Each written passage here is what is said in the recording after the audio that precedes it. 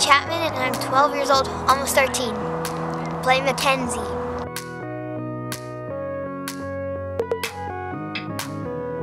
My character is more the responsible, responsible one, and she's smart, and she kind of thinks of herself as a role model for her friends.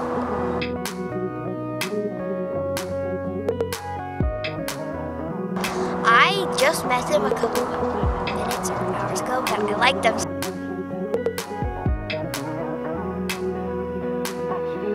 It's fun so far. It's really cold though. I mean, like, look at my goosebumps. I'm freezing, but it's still fun. And we get we've gone to cool places like bridges and other stuff.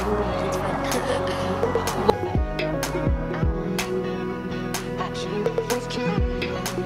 um, we went under this one bridge that was all that had a bunch of graffiti and stuff, and I was climbing on it. It was really fun. That was cool.